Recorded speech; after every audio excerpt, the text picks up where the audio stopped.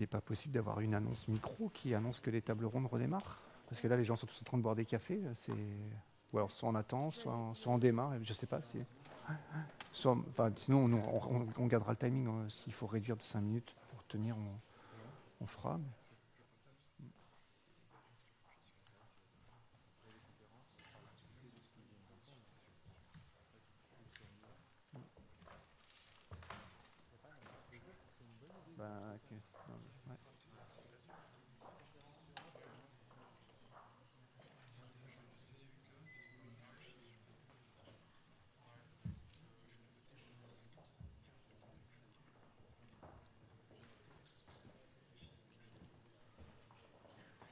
va bien. Vous venez écouter l'Open Data au Québec Dans le détail. Je, vais l'écouter, tellement. Ouais. Je suis obligé de, de faire des choix. Bon.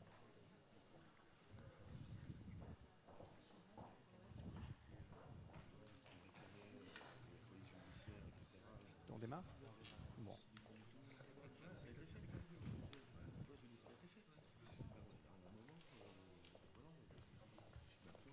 peu frustrant ça.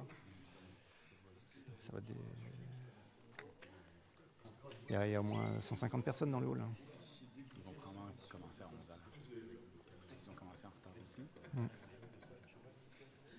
Bon, on démarre, ça va les faire venir Mais est-ce que, eux, est-ce que euh, les organisateurs peuvent décider que ça commence à 11h puis dire à tout le monde OK, ça Là, ils viennent de voir s'ils peuvent lancer un, un appel micro. Ouais.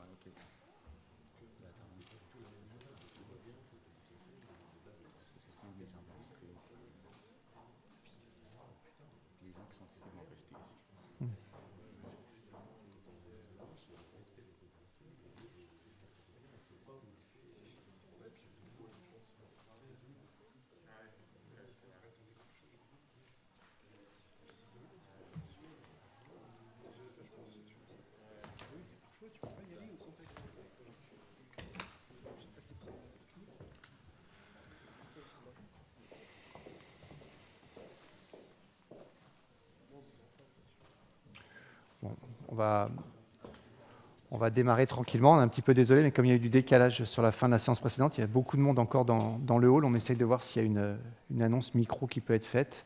Bon, je vous propose qu'on démarre euh, tranquillement. Euh, je m'appelle Jacques Priot, je suis le fondateur d'une société nantaise qui s'appelle Civiteo, qui travaille sur euh, un sujet un peu général qui est celui de la place de la donnée dans la décision publique, qui traite de questions d'open data, mais pas seulement. Et avec les organisateurs du Salon de la Data, nous avons euh, souhaité organiser cette table ronde ce matin avec la venue d'un invité particulier que je présenterai tout à l'heure dans le détail, qui euh, nous vient euh, du, Québec. Donc, dans un premier temps de la table ronde, j'interviendrai comme, comme, animateur avec l'ensemble des participants et je contribuerai également au, dernier temps de la table ronde que je vais vous présenter très rapidement. France-Québec, euh, un sujet euh, intéressant euh, ici à Nantes. Il y a des relations particulières entre Nantes et la ville de Québec et la province de Québec. Sujet intéressant également parce qu'une organisation à but non lucratif canadienne, Open North, Nord ouvert en, bon québécois, représentée ici par Jean-Noël Landry, qui est son directeur général, a également un partenariat avec une autre organisation française qui s'appelle la FING, dont je vous dirai également un mot tout à l'heure. Et euh, donc ces liens qui peuvent exister euh, des deux côtés de l'Atlantique trouvent une tonalité particulière sur euh, le sujet de, l'open data parce que nos, amis, cousins, voisins d'outre-Atlantique ont été un petit peu précurseurs par rapport à, la France, ont démarré avec quelques années d'avance le mouvement de l'open data. On compte en 3-4 ans, parce que le mouvement de l'open data est un mouvement, en tout cas la libération effective des données par des collectivités publiques est un, est mouvement récent. J'en dis pas plus euh, à ce stade. Et donc, il était intéressant de pouvoir faire le point sur euh, où nous en sommes, une quinzaine d'années, une dizaine d'années après les débuts de l'open data local euh, des deux côtés de, l'Atlantique. La table ronde va se dérouler en, trois temps. On va essayer de faire les choses de façon assez rythmée pour vous donner aussi la possibilité de, vous exprimer. Donc, trois demi-heures, un petit peu compactées, avec à chaque fois des interventions brèves d'une dizaine de minutes. Un premier temps où on va faire un état des lieux comparé. Où est-ce que nous en sommes en France? Où est-ce que nous en sommes au Québec ou au Canada? Ensuite, des témoignages avec deux cas qui seront détaillés avec la Loire-Atlantique représentée par David Martineau, j'en dirai un mot tout à l'heure, le département de Loire-Atlantique, où est-ce qu'on en est, et Jean-Noël Landry nous parlera du cas très intéressant de la ville de Toronto. Et nous aurons un troisième temps qui sera consacré à une question euh, importante pour toutes celles et tous ceux qui travaillent sur l'open data, c'est un petit peu, euh, et les citoyens dans tout ça, libérer des données, ouvrir des données, c'est un mouvement qui est engagé, qui est important, on va s'y arrêter là maintenant.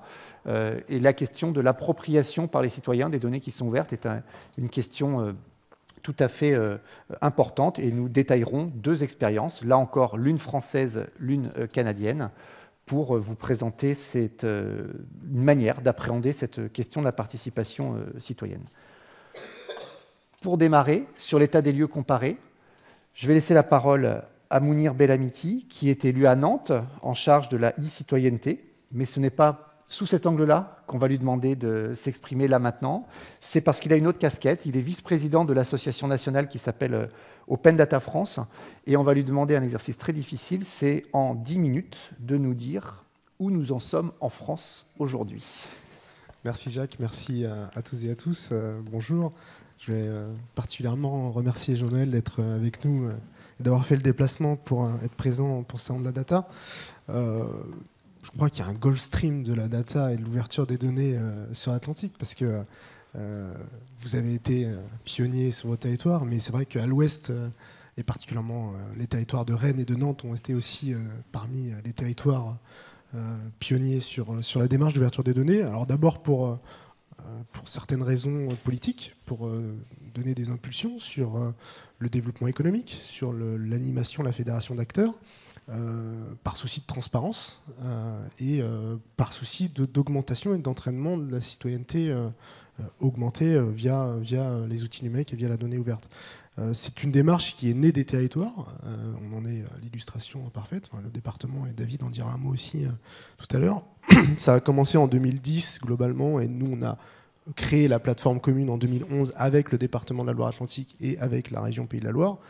Donc on a fait le choix d'une plateforme commune entre territoires, ce qui est, est assez atypique sur, au, niveau, au niveau national. Euh, et euh, depuis, on a publié régulièrement des jeux de données. Euh, on a aussi mis en place des, services web pour permettre de consulter certaines données en temps réel. Et on est monté en, puissance de cette manière-là. Donc, premier, premier constat, premier point qu'on peut faire au niveau national en France, c'est que la démarche d'Open Data, elle naît dans les territoires. Elle naît dans les territoires et ça part d'une impulsion politique euh, avec un écosystème euh, d'acteurs, euh, d'ONG, d'associations qui interpellent le politique et qui demandent un peu des comptes sur la transparence, sur la production de, documents administratifs, même si effectivement un cadre existait, notamment en termes d'accès aux documents administratifs qui date des années 70, mais qui ne permettait pas d'insuffler cette dynamique d'accès via le numérique. Donc à partir de là, l'État a fait, ce constat qu'il y avait une effervescence sur les territoires. Euh, d'autres collectivités ont emboîté le pas. Et euh, en 2016, globalement, euh, un projet de loi est né sur, cette question plus globale de, ce que c'est qu'une république numérique, et notamment de ce que serait le cadre d'ouverture des données publiques sur le territoire. donc c'est Axel Lemaire qui, qui, pilotait cette démarche-là. Je salue d'ailleurs la présence de, Luc Bello, qui est intervenu tout à l'heure euh, sur, la, table ronde précédente, qui a aussi été un, des acteurs clés de cette démarche. Euh, l'objectif était bien de fixer un cadre euh, avec toujours la, la, nécessité de garantir un certain nombre de, protections pour le citoyen, pour, pour tout un tas, tout un tas d'acteurs qui sont concernés d'abord parce que c'est de la donnée publique, mais aussi de, de, territoires qui ne sont pas forcément maîtres de tout, euh, euh, leur, toutes leurs données et de toutes leurs démarches administratives. administratives. donc, l'objectif de cette loi, enfin un des objectifs majeurs de cette loi en matière d'open data, c'est de rendre obligatoire l'ouverture des données publiques dites à caractère général. Donc c'est très large puisque ça concerne environ 4500 collectivités.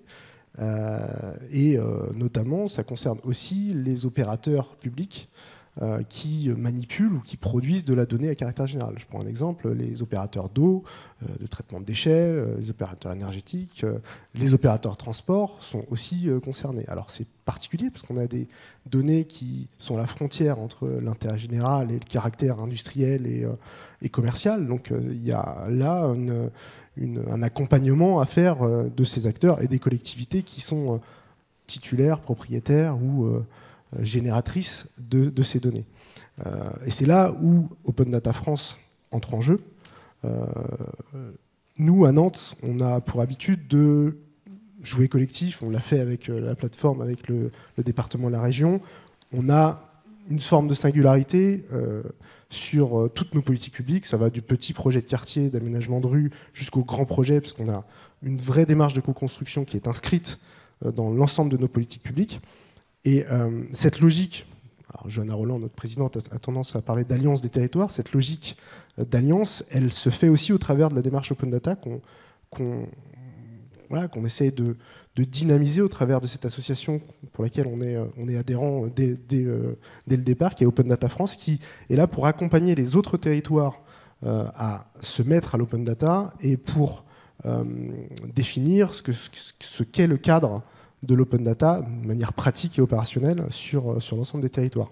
Alors comment ça fonctionne? Euh, Euh, on, se, réunit, on discute, on échange, on fait du retour d'expérimentation, retour d'expérience entre nous, et puis on définit des objectifs en lien avec l'État, avec le secrétaire général à la modernisation de l'action publique, qui a clairement missionné l'Open Data France sur, sur cette question, puisqu'il est question de lancer une démarche qu'on a appelée Open Data Local, et là je salue aussi la présence de Jean-Marie Bourgogne, qui est le directeur général d'Open Data France, qui travaille corps et âme euh, au quotidien pour euh, concrétiser cette démarche. Donc Open Data France euh, met en œuvre Open Data Local, qui est un programme d'accompagnement des territoires à, voilà, à la mise en place d'une plateforme, à la mise en place d'outils euh, et, euh, de, processus d'ouverture des données au sein de ces services d'abord sur les collectivités et puis avec ses, euh, avec ses partenaires, que ce soit des institutionnels autres ou des entreprises délégataires.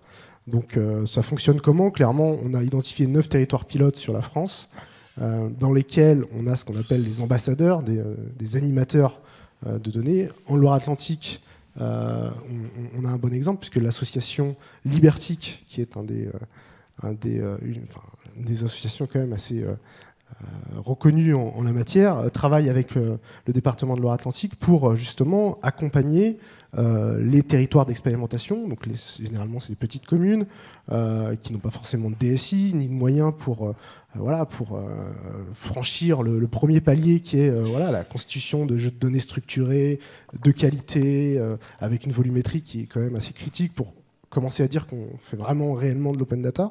Donc c'est euh, au travers de ces accompagnateurs qu'on réussit à se déployer, entre guillemets, à déployer la démarche sur le terrain.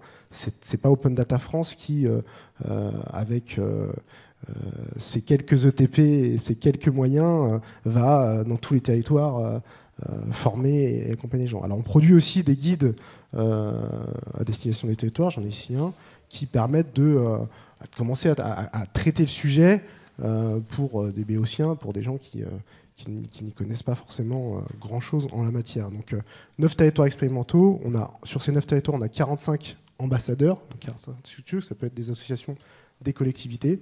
Et l'objectif, c'est donc ça a commencé en janvier 2017, ce programme Open Data Local. L'objectif, c'est dans un an, faire un point d'étape avec l'État, se poser, savoir comment, quels ont été les freins, quels ont été les, euh, choses qui ont fonctionné pour ajuster le dispositif et permettre euh, à cette démarche euh, de continuer à, se développer. On n'attend pas la fin de l'année d'expérimentation pour ajuster le dispositif. On, se veut agile sur la, méthode et sur le, process.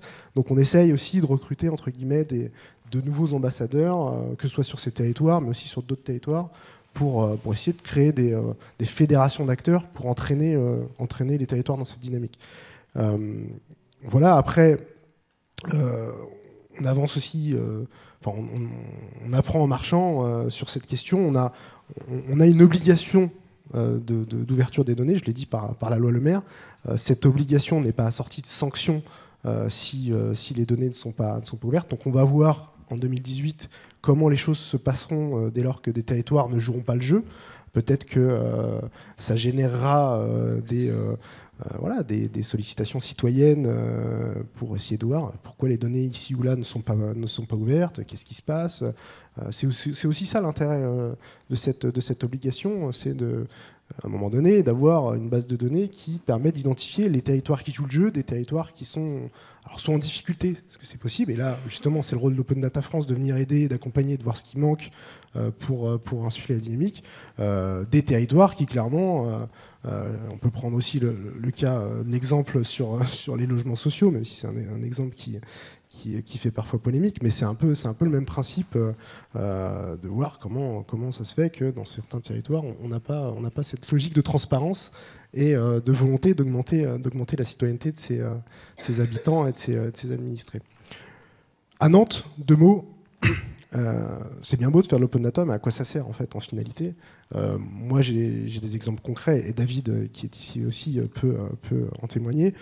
Si on n'avait pas fait cette plateforme commune datanantes.fr, on n'aurait pas pu faire Nantes dans ma poche, qui est l'application microservice pour les habitants de Nantes et de la métropole nantaise, qui en fait l'application couteau suisse du quotidien pour n'importe quel usager citoyen nantais. cette application se nourrit à 80% de microservices qui sont issus de la plateforme datanantes.fr et qui du coup euh, nous, permet, nous a permis de se concentrer sur l'expérience utilisateur et euh, garantir un niveau de service euh, d'information, de service public de qualité. Et c'est en, franchissant ces paliers et, cette maturité progressive de, maturité, de qualité des données, de quantité aussi de données, qu'on a permis justement la création de services à haute valeur ajoutée citoyenne comme l'application dans, ma poche. Mais je pourrais aussi parler euh, du City Lab qu'on est en train de construire sur, sur la co-innovation et sur la production croisée de données euh, à caractère intérêt général, mais aussi à caractère économique. Euh, Francky Trichet en, parlera certainement mieux que moi, certainement aujourd'hui. on a aussi, et on regarde particulièrement ce qui se fait avec Rennes sur, sur la data visualisation, on a intérêt à produire euh, de la donnée qui soit pas seulement de la donnée brute, mais qui soit aussi un peu de la donnée éditorialisée, euh, pour donner à voir euh, concrètement ce qu'est ce un budget, où vont les subventions, comment elles sont, comment elles sont distribuées. Bref, l'open data, c'est pas qu'un grand mot, c'est pas qu'une grande, une grande dynamique idéologique, c'est aussi du concret en termes de services publics, en termes de d'accès à l'information, en termes de, voilà, de, de, de, territoire intelligent, territoire résilient par rapport à, par rapport à cette nouvelle économie, à ce nouveau monde qui s'offre à nous. Merci euh, beaucoup Mounir de cette euh, moi. synthèse, euh, pas simple. Donc en France, après 180 collectivités locales pilotes qui ont décidé de se lancer dans l'open data depuis 2010, une loi impose l'ouverture des données à 4500 communes de plus de 3500 habitants, communes et services publics. Jean-Noël Landry, donc vous êtes euh, délégué, directeur euh, général euh, d'Open North, une expérience québécoise, une expérience canadienne, mais aussi une vision de ce qui se passe ailleurs dans le monde. Vous arrivez de, Kiev, en Ukraine. Est-ce que ce modèle français est très particulier, atypique? Comment les choses se passent chez vous? Où est-ce que vous en êtes? Dix minutes également. 10 minutes aussi. OK, donc je vais faire mon possible de, faire ça en 10 minutes. Euh, donc, merci beaucoup, premièrement, pour, euh, pour l'invitation d'être ici aujourd'hui parmi vous. Euh, ça fait très plaisir de partager l'expérience canadienne et, québécoise. Et aussi très intéressant de dialoguer avec des partenaires qui nous ressemblent beaucoup. Hein. Et moi, c'est ce que j'ai entendu depuis quelques jours en étant ici à Nantes. c'est les, choses qu'on a en commun, les défis auxquels on fait face parce que le mouvement des données ouvertes, eh bien, c'est vraiment un mouvement sur une échelle mondiale. Donc, moi, ce que je vais vous raconter un peu, c'est l'histoire de comment on a euh, développé une stratégie de plaidoyer, en fait, euh, et de positionnement euh, au Québec à partir de la grande région métropolitaine de Montréal, qui comprend 91 municipalités, et comment on a utilisé finalement notre démarche montréalaise pour travailler avec les autres paliers gouvernementaux parce que, bien sûr, le Canada, très grand pays, différents paliers gouvernementaux, mais c'est vraiment les villes qui ont été les pionnières euh, pour faire accélérer euh, le mouvement des données ouvertes. Euh, Donc, la question qu'on s'est posée dès le début, et avant, avant Nord ouvert, il y avait Montréal ouvert. Et moi, j'ai été le cofondateur de Montréal ouvert et de Québec ouvert, qui étaient vraiment des, initiatives citoyennes. Et on était quatre, euh, donc des, des, activistes, des geeks, des entrepreneurs, des, des, spécialistes en visualisation de, données. Et la question qu'on se posait fondamentalement, c'était les données ouvertes, d'accord, OK, en principe, on est d'accord avec la transparence, ce qu'on appelle la redevabilité, donc accountability, euh, et l'engagement civique, mais pour qui et avec qui? Donc, ça, c'était vraiment des questions au cœur de notre démarche. OK? Et ce qu'on s'est dit, c'est qu'il fallait absolument mettre de l'emphase sur l'adoption d'une loi, donc un cadre politique parce qu'on pouvait organiser toutes sortes d'événements, des hackathons, des choses comme ça, hein, faire de la, médiatisation, travailler collaborativement pour développer des applications, des choses comme ça. Mais s'il n'y avait pas de cadre légal, on savait très bien qu'on n'allait pas assurer la durabilité de notre initiative et qu'on n'allait pas pouvoir non plus entrer dans des méthodes ou des, systèmes plus complexes d'interopérabilité entre les villes et aussi collectivement avec les différents paliers euh, gouvernementaux. Donc ça, c'était vraiment, vraiment important. Donc, euh, Montréal ouvert, fondé en 2008-2009, OK? Donc, la première initiative dans, en son genre euh, au Canada. Euh, mais la ville de Montréal n'avait pas encore adopté de politique sur les données ouvertes. Il y avait quelques villes qui y pensaient déjà, ce qu'on appelle le, G4 plus 1, donc Montréal, OK, ce qui reflète un peu la dynamique canadienne, OK, d'avoir Montréal qui s'agence à un regroupement de, de grandes métropoles quelques villes avaient déjà considéré l'adoption euh, d'une politique sur, euh, sur les données ouvertes, mais Montréal accumulait un certain retard, ce qui est excellent. D'une perspective de plaidoyer, nous, on a utilisé ça comme levier pour dire, mais voyons donc, la ville de Toronto est déjà en train de faire des études de faisabilité sur l'adoption d'une politique sur les données ouvertes. Et ce qu'on a fait, c'est qu'on a traduit le rapport de faisabilité de la ville de Toronto pour ramener ça vers les élus montréalais pour leur dire, hey, les amis, il ne faut, il faut pas tomber en arrière. Il ne faut pas laisser la ville de Toronto aller au-devant de nous. Donc, les villes sont très, très, très compétitives, bien sûr. Donc, on a utilisé ça comme levier euh, dès le début. Ensuite, on a, on a travaillé euh, en, grattant littéralement des, données de, sites web de la ville de Montréal pour créer euh, différentes applications collaborativement avec des développeurs, donc des gens qui s'intéressaient beaucoup à la transparence et qui étaient très motivés de, de redonner en créant des nouveaux services, OK? donc prototypage de différents services. Et euh, typiquement, les applications étaient ancrées dans des problématiques très, très, très concrètes hein, qui pouvaient avoir un impact sur la qualité de vie des, gens. Donc, je vais vous donner quelques exemples. Un exemple, c'est Patiner Montréal, qui est une application qui existe encore. Donc, Patiner Montréal, un problème très typique montréalais. On a euh, des centaines de patinoires dans, euh, nos quartiers, hein, à travers la ville. Et à chaque jour, la ville de Montréal va de patinoire en patinoire et travaille la qualité de la glace. Donc, arrose la glace et ensuite émet un rapport. Et ces rapports-là sont dans des PDF, euh, sur le site Web quelque part où personne ne va, vraiment les voir. Mais il y a des informations très intéressantes pour les adeptes de hockey, les gens qui veulent aller patiner avec leur famille et tout ça. Parce qu'on peut savoir exactement si la, qualité de la, glace. Donc, nous, on a gratté les, données pour créer et géolocaliser ok, les patinoires et la qualité de la glace et les différents types de services et les horaires où on pouvait pratiquer différents types de patinage. Est-ce que c'est ouvert au grand public? Est-ce que c'est seulement pour le hockey? Tout ça.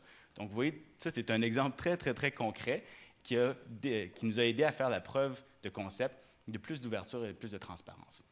Mais l'enjeu, je vais vous donner un autre exemple, puis ensuite je vais aller à, notre objectif finalement aussi euh, un petit peu plus délicat, mais qu'on n'a pas abordé dès le début, un autre exemple, ça s'appelle RestoNet. Donc, RestoNet euh, était une application sur les inspections de salubrité des, restaurants. Donc là, hein, ça nous permet de géolocaliser et de voir ben, quel, commerce, quel, quel, restaurant avait quel type d'amende et qui payait ces amendes.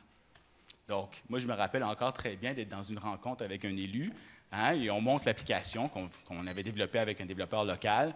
Puis là, il me dit, ben, wow, laisse-moi voir. Là. Parce qu'il voulait voir l'application parce qu'il y avait un, meeting, un lunch d'affaires avec quelqu'un, avec un collègue. Et puis là, il a fait, il a cherché le, restaurant. Je pense que c'était dans le quartier chinois, pas loin de la, mairie. Et là, c'était un gros spot rouge sur la carte avec plein d'amandes et tout ça. Donc déjà là, un impact très réel, hein, où il a pu comprendre, bien, ah oui, mais ça, c'est un, dans l'intérêt public de rendre ces données-là accessibles dans un format ouvert, lisible par les machines, etc., etc.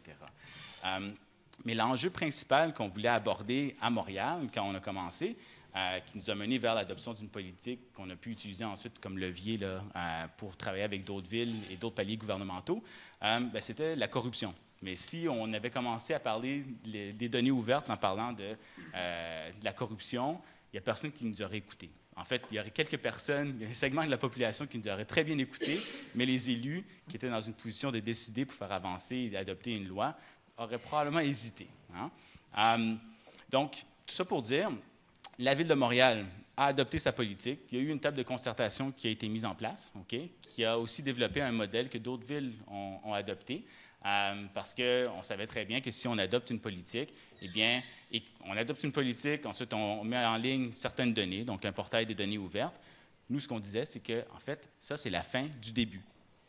La fin du début, parce qu'il faut vraiment travailler par après avec le gouvernement provincial, le gouvernement fédéral, le gouvernement fédéral avait déjà adopté aussi sa politique, mais manquait un peu de leadership pour rassembler et dialoguer euh, les, autres, euh, paliers gouvernementaux. Donc, il n'y avait pas de groupe de travail interprovincial qui parlait d'interopérabilité ou de coordonner la licence pour les usagers des données ouvertes. Donc, ça, a vraiment passé par la base, par Montréal, euh, et ensuite par d'autres villes on a aussi beaucoup travaillé pour faire valoir euh, les données ouvertes dans les cadres euh, de programmation euh, et stratégiques de la Ville de Montréal. Donc, on a participé à des commissions pour montrer la plus-value des, données ouvertes. on est allé à l'Assemblée nationale au Québec, à Québec, pardon, dans le cadre du processus de réforme de la loi de l'accès à l'information pour démontrer comment les données ouvertes pouvaient avoir un impact sur euh, ce qu'on appelle la divulgation proactive euh, des données ouvertes. Euh, ensuite, on a travaillé avec la Ville de Montréal pour insérer une dynamique de, données ouvertes dans la planification de la durabilité de, la ville. Donc, tout ça, ça nous a incité à ne pas non, seulement parler des données ouvertes, mais de la plus-value des données ouvertes quand elles s'insèrent dans un dialogue politique et de programmation, ce qui est très important. Parce que si on parle seulement de données ouvertes, vous, vous êtes tous intéressés, bien sûr, par les données ouvertes, mais le grand public, la majorité des gens, si on leur parle de l'open data, ils vont être intimidés par cette terminologie-là. Donc, il fallait montrer comment les données ouvertes pouvaient être intéressantes et utiles pour euh, des fins euh, de communauté, de, mieux vivre ensemble, d'économie sociale, etc. Il reste quelques minutes. Je vais juste faire un, petit survol sur où on en est maintenant. Euh, donc, ce qui est intéressant maintenant, c'est que en fait, la, Ville de Montréal, dès qu'elle a adopté sa politique puis qu'elle a mis en ligne des données sur son portail, des données ouvertes, nous, on a décidé de fermer les portes de Montréal ouvert. Pourquoi? Parce qu'on s'est dit que ce n'était plus le rôle de Montréal ouvert d'être là pour jouer le rôle qu'elle avait joué, pour faire valoir la, valeur ajoutée des données ouvertes. Donc, on s'est professionnalisé avec Nord ouvert, euh, ce qui était très, très important pour nous.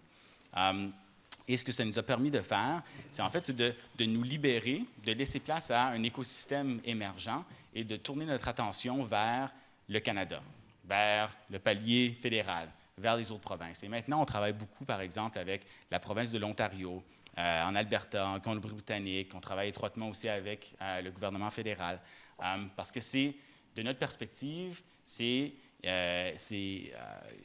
essentiel de se mettre dans la peau des usagers des données et de diversifier cette base-là ok, pour leur permettre d'accéder des données d'une manière le, plus efficace possible.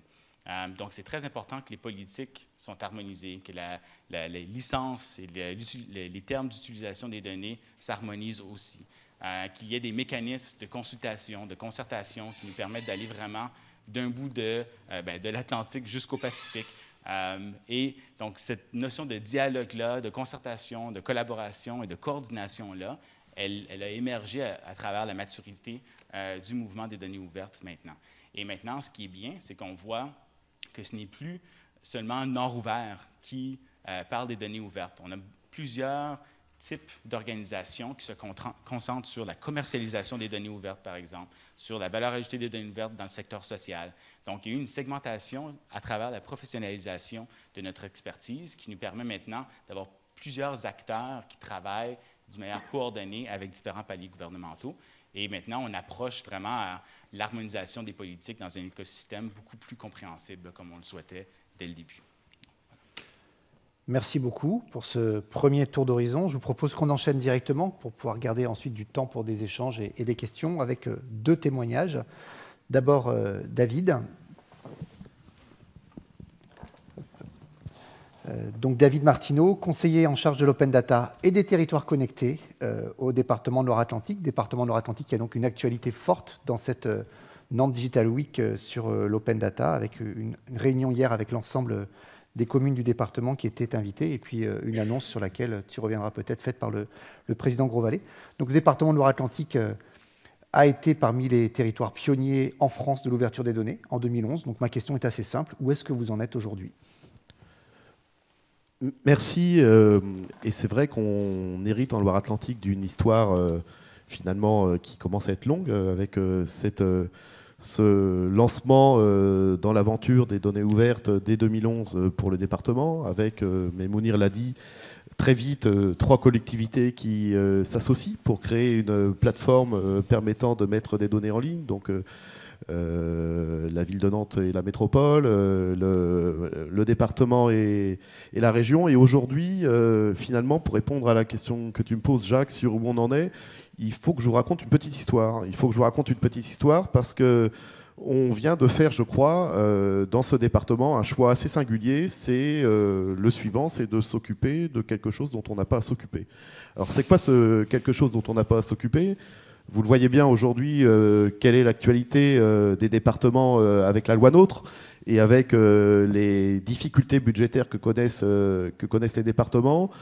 Euh, c'est finalement dans un département qui, dans un premier temps, s'est lancé très vite et a toujours cru à la question des données ouvertes, mais plutôt pour lui-même, c'est-à-dire comment la démarche 2011 euh, jusqu'à aujourd'hui est une démarche très claire de euh, recherche en interne de quelles sont les données sur lesquelles on peut travailler pour les ouvrir, pour créer euh, à partir des données euh, départementales euh, des nouveaux services, des nouvelles applications. On sait aujourd'hui hein, qu'on a plus de 250 jeux de données en ligne et on a, je crois, compté un peu plus de 50 utilisations de, des, des données qui sont faites par rapport à, à ce que permet de publier le département. En fait, on vient de faire un choix j'allais dire complémentaire et assez différent, c'est de se positionner comme acteur de euh, la question de l'alliance des territoires, et c'est-à-dire de regarder comment aujourd'hui, dans un département comme la Loire-Atlantique, où on a une énorme dynamique autour du numérique et des données ouvertes euh, à Nantes Métropole, et puis, euh,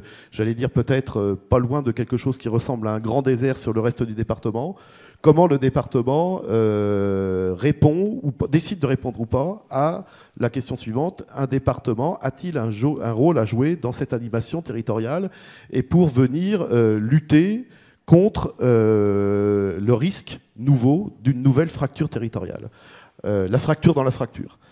Euh, on a réfléchi à cette question pendant plus d'une année pour à la fois euh, la volonté politique d'y aller euh, a toujours été forte, mais pour trouver finalement la bonne place du département dans, ce cadre-là.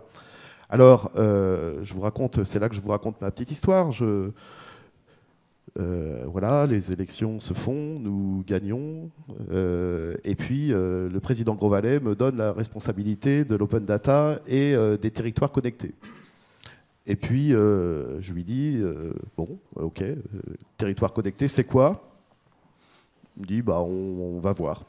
On va voir ce que c'est. Et du coup, on va se donner un an, un an et demi pour vraiment réfléchir à cette question parce que, intuitivement, il y, y a un enjeu sur cette question. on va voir ce que c'est et on va décider ensemble, justement, de la question d'y aller, d'y aller ou pas. Alors, euh, aujourd'hui, je crois qu'on a répondu à notre question, même si euh, la question est toujours, euh, voilà, on est au balbutiement de l'établissement de cette nouvelle stratégie, donc de l'établissement d'une stratégie numérique intégrée pour le département. Et qu'est-ce que c'est que cette stratégie numérique? C'est de dire la problématique de la fracture territoriale, c'en est une. Il y a une deuxième problématique face à la révolution numérique et aux données ouvertes, c'est la fracture sociale.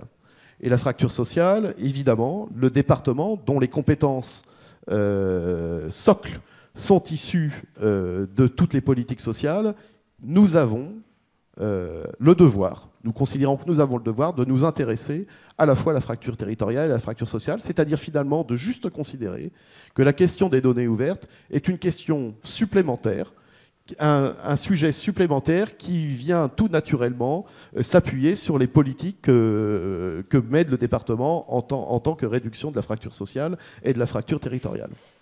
Euh, on a donc euh, proposé d'être un acteur, dans le cadre de la loi, euh, d'un acteur ressource qui permette aux communes et EPCI concernés par la nouvelle loi de pouvoir se tourner euh, vers le département pour euh, bénéficier d'un certain nombre de connaissances, services avancés et, euh, j'allais dire, les cinq ou six années d'avance qu'a notre collectivité par rapport à celle qui commence à s'intéresser à cette, euh, à cette question. Alors, c'est en effet deux annonces qui ont été faites. La première, c'est la mise à disposition de la plateforme commune, région, métropole, département, gratuitement pour les EPCI et les communes, c'est-à-dire que éviter que les communes se posent la question de comment elles vont pouvoir héberger leurs données ouvertes. Elles ont une solution qui leur est, qui leur est offerte. La, deuxième, c'est de proposer, depuis maintenant quelques mois, et avec un nouveau cycle qui s'ouvre aujourd'hui, euh, des animations territoriales et des ateliers territoriaux pour accompagner euh, les collectivités intéressées par euh, la question de, de l'open data et des données ouvertes, leur faire bénéficier de notre ingénierie, notre ingénierie, j'allais dire, à la fois organisationnelle et puis de pouvoir euh, être un, animateur, un facilitateur des bonnes pratiques entre les différentes communes sur le, sur les départements. Donc on est aujourd'hui euh, à la, j'allais dire, à la naissance de cette nouvelle stratégie qui fait qu'aujourd'hui, en termes de données ouvertes, le département a euh, maintenant plusieurs cordes à son arc. La production et la diffusion de données ouvertes qui est déjà en route depuis, euh, depuis un moment. Une nouvelle corde qui vient aussi dans cette stratégie numérique, c'est un travail très intense au sein des équipes sur finalement comment euh, la donnée ouverte n'est pas une problématique mais plutôt une opportunité de réfléchir à la valorisation de sa donnée dans ces différents systèmes d'information au sein même du département. Donc euh, réinterroger euh, l'organisation du département, l'organisation de travail, la transversalité entre les services euh, grâce à cette question de la donnée ouverte, c'est-à-dire comment on fait pour que la donnée ouverte ne soit pas un truc en plus qu'il faut faire une fois qu'on a fait notre processus, mais comment on fait pour penser que les données qu'on le produit sont utilisables à tout moment et sont valorisables à la fois par des agents extérieurs, mais à la fois au sein même de la collectivité. Donc aujourd'hui, la collectivité a lancé en termes d'organisation euh, et de gouvernance des, des travaux très importants sur cette question donc en interne. Troisième euh, aspect, euh, le département développait lui aussi en propre un certain nombre d'applications utilisant les données ouvertes. Le choix de passer aussi dans dire, les applications ouvertes, c'est-à-dire de choisir des solutions numériques futures qui seront euh, euh, sous licence libre, qui puissent être, puissent être réutilisables euh, par les uns et par les autres. Donc cette volonté aussi sur les applications maison départementales de pouvoir les ouvrir, les ouvrir et en faire bénéficier tous ceux qui voudront, euh, qui voudront retravailler sur le code pour pouvoir le changer, le faire évoluer, euh, le faire évoluer. Et puis donc ce nouveau rôle euh, d'animateur, d'animateur, d'animateur territorial que l'on a donc présenté formellement hier aux, communes et aux PCI du, département. Voilà. Donc cette histoire, c'est finalement de dire il n'y a pas de sujet euh, particulier euh, pour le département euh, de, euh, la, de la donnée ouverte. La donnée ouverte est juste une poursuite et une continuité de nos politiques publiques. Et donc, elle, euh, elle doit faire partie euh, de, la, de la stratégie départementale et donc un positionnement, j'allais dire, euh, intellectuellement plutôt agressif sur ce sujet. Alors j'espère que dans 2-3 ans, dans une future table ronde, euh, on pourra euh, faire le constat que cette stratégie a permis un certain, un, certain, voilà, un certain effet d'entraînement sur les collectivités du département. L'aventure commence à partir de... Elle a commencé hier, donc laissez-moi juste un peu de temps pour avoir un peu de recul, pour faire, pour faire un, point sur cette aventure. Mais je crois voilà, c'est vraiment un, un positionnement fort d'un département qui décide d'une certaine façon de considérer que à la question initiale, c'était pourquoi se mêle-t-on de quelque chose qui ne nous regarde pas? Parce que, évidemment, c'est fondamental et c'est peut-être un des risques nouveaux, le plus fort de la fracture dans la fracture qu'on peut connaître dans nos sociétés actuelles. Merci beaucoup, David. Nous allons poursuivre la comparaison avec maintenant le cas de Toronto, que Jean-Noé va nous présenter euh, dans le détail. Oui. Euh, donc, Toronto, plus grande ville au Canada. Euh, on vient, il y a quelques, quelques mois, d'avoir le mandat de travailler avec elle pour développer euh, ce qu'ils appellent leur Open Data Master Plan. OK, c'est pas ma terminologie, c'est leur terminologie. Euh, et aussi leur feuille de route. Donc, comment opérationnaliser leur stratégie sur une optique de, de 5 à 10 ans. OK? Donc, euh, c'est certain que ça représente toutes sortes de problèmes, toutes sortes de, problématiques, des éléments euh, auxquels il faut, prendre, qu'il faut prendre en compte dans cette démarche-là, euh, qui va s'étendre sur une période de, de 4 à 5 mois, ce qui n'est pas beaucoup hein, pour, aller, pour aboutir avec ce genre de, documentation-là. et pour faire du pouce un peu avec ce la, la, discussion là, ici, le défi que nous avons, c'est que nous n'avons pas une loi comme la vôtre. Donc, pour travailler conjointement avec la ville et consulter à l'interne une panoplie d'intervenants ou de différentes agences de direction et tout ça, qu'ils ont chacun leur plan, leur stratégie, et de les consulter pour comprendre euh, comment positionner les données ouvertes dans leur propre vision. Ok, On n'a pas de cadre législatif national qui nous permet de leur dire, bien, écoutez, de toute manière, vous êtes obligé d'aller dans cette direction-là en fonction de ces éléments-là. Donc, nous, ce que nous avons fait, euh, c'est que nous avons fait référence à la Charte internationale des données ouvertes, qui est, on peut le dire, peu connue en France. C'est beaucoup plus une initiative anglo-saxonne. Euh, la Charte a été adoptée par plus de 50 gouvernements à différents niveaux à travers le monde. Et ce que la, Charte fait, c'est qu'elle définit en six principes les données ouvertes. Et pour nous, c'est très, ça nous facilite la vie. Donc, six principes, brièvement, et on va tous les reconnaître parce que c'est le langage auquel on est, familier. C'est un langage qui est de la terminologie qui existe déjà dans nos politiques publiques, mais on les nomme d'une manière où on peut harmoniser justement ce travail-là. Donc, les données seront ouvertes par défaut, hein, open by default, seront diffusées en temps opportun et seront exhaustives, seront accessibles et utilisables, comparables et interopérables, serviront à l'amélioration de la gouvernance et de la participation citoyenne et favoriseront le développement inclusif et l'innovation. Il n'y a rien de nouveau dans ça.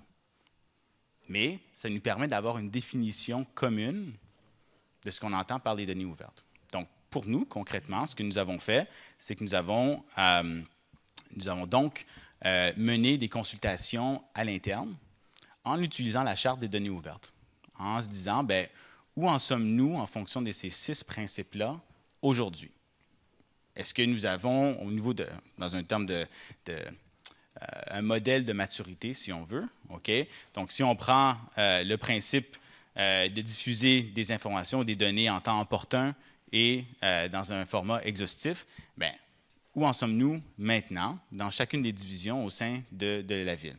Et ensuite, où voulons-nous aboutir? Quelle est notre vision dans 5 ou 10 ans ok, pour se rendre jusqu'à cet absolu-là? Parce qu'on fonctionne bien sûr avec des, une idéologie, hein, c'est un, idéalisme qu'on essaie de réaliser. Et ensuite, on se dit, bien, quels moyens avons-nous besoin pour se rendre d'aujourd'hui jusqu'à cette vision-là dans 5 ans ou 10 ans? Et comment allons-nous prioriser les effectifs qui sont euh, limités au niveau de la capacité interne, euh, au niveau de la formation, au niveau des investissements peut-être dans les, infrastructures euh, technologiques, au niveau de créer des nouvelles données, de mieux gérer des données, développer ou approfondir un changement euh, culturel au niveau de la, euh, de l'organisation comme telle. Donc, la charte nous sert beaucoup pour pouvoir animer ce genre de discussion-là, euh, mais ce n'est pas tout. Euh, parce qu'il faut aussi pouvoir démontrer euh, et identifier des bonnes preuves que les données ouvertes fonctionnent et sont utiles euh, aujourd'hui, dans l'actualité. Euh, donc ça, on le fait euh, en collaboration avec un, euh, groupe de conseil, ok, un advisory group que nous avons créé, où nous avons invité les gens de se nommer eux-mêmes pour participer à cette démarche-là. Euh, il y a eu plus de 45 personnes qui se sont portées volontaires, des gens qui, qui sont tous très intéressés par les données ouvertes et, de manière très intéressante, viennent de, de milieux très divers.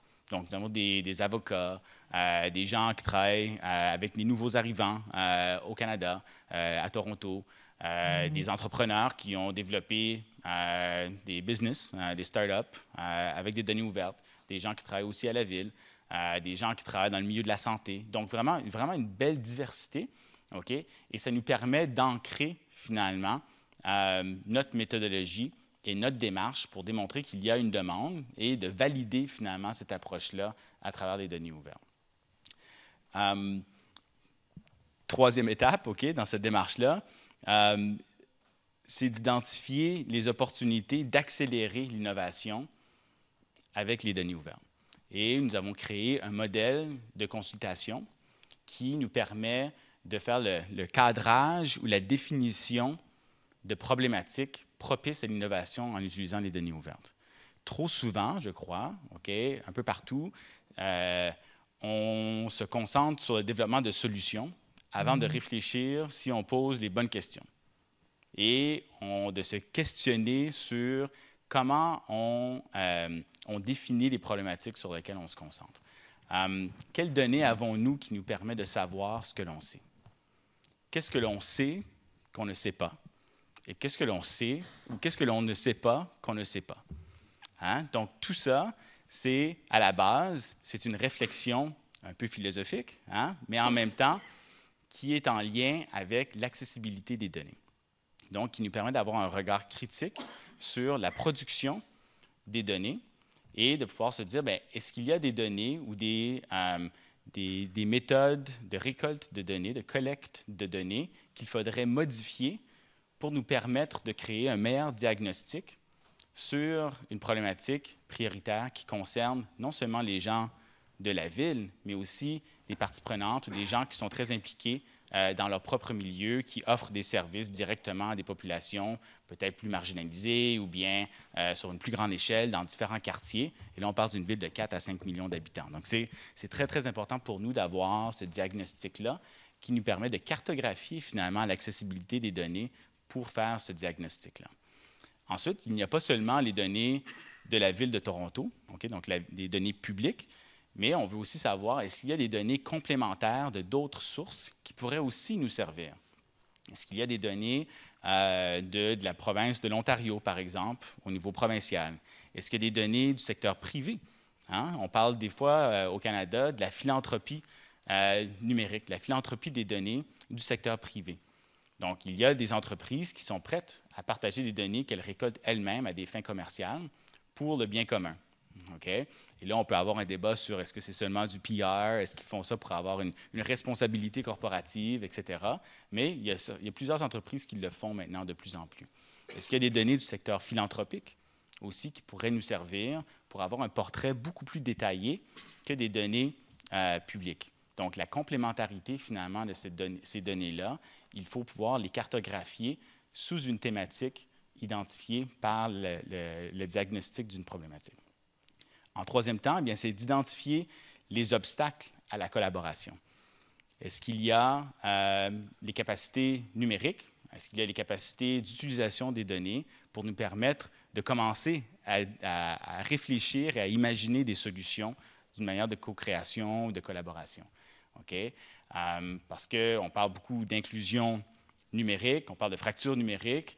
euh, eh bien, il faut pouvoir euh, se poser la question euh, et de voir est-ce que les gens qui sont, est-ce qu'il y a d'autres personnes qui ne sont pas, euh, qui ne font pas partie de notre réflexion qu'on devrait impliquer et pourquoi et quels sont les obstacles à leur participation pour nous permettre vraiment de développer des solutions pour le bien commun dans l'ensemble d'une ville comme Toronto.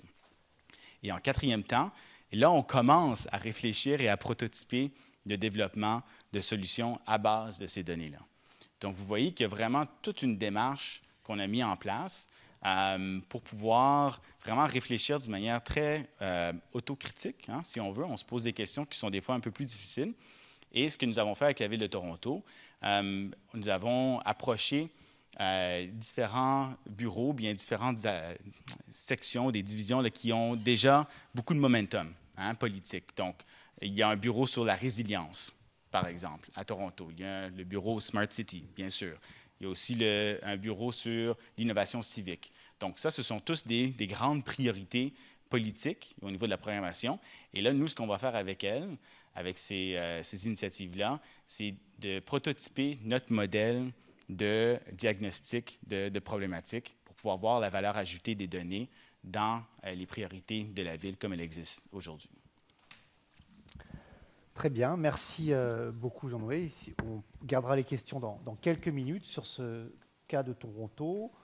Au préalable, le dernier temps sur lequel, nous souhaitions euh, pouvoir euh, vous apporter un éclairage concerne le sujet crucial en matière d'open data, de l'utilisation ou non par les citoyens de ces données qui sont ouvertes.